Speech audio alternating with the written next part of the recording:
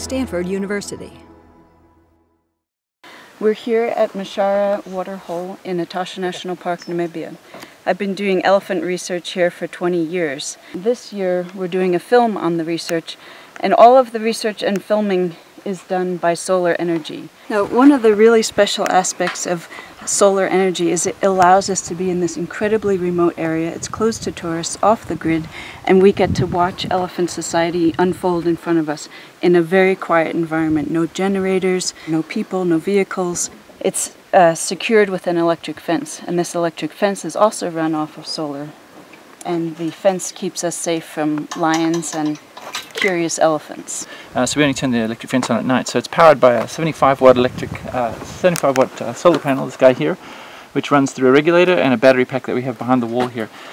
It makes a little ticking sound. Every little tick sends 50,000 volts through the fence. 50,000 volts, very low amperage, the whole point being that it won't hurt anything, it'll just scare them away. We film um, the elephants for up to eight hours a day. Uh, we're trying to capture all the bulls' activities and all the herds that's coming into the waterhole. So far we have 34 one-hour tapes and each and one single hour we tape is being charged by solar energy. I'm able to use my camera to ID these elephants. We, we run all on ear tags and different uh, morphological features that allow us to pick out who's who and so my camera runs completely off of uh, rechargeable batteries. Welcome to the Edit Suite in the Sky.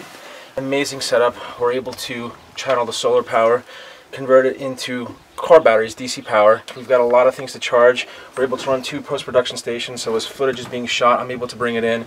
As long as the sun's roaring, we are rocking and rolling. This is where we process all the dung that we get from the field. From elephant dung, we get information on hormones, DNA, nutrition, since we have a very basic lab here, we use this microscope that is powered by solar through this inverter to determine the parasite egg count. Okay, this is really exciting.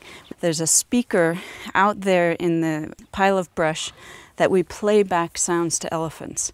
Now, this speaker is driven by this powerful uh, DC amplifier here, and we run the sounds through this tape recorder play them back through the computer into a sound software program so that I can watch the sounds as we deliver them into the air and the ground and then um, analyze signals that the elephants make.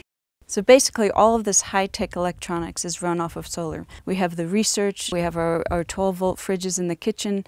All of that is run off of a couple of solar panels, a couple of batteries, and an inverter. The sun does the rest. For more, please visit us at stanford.edu.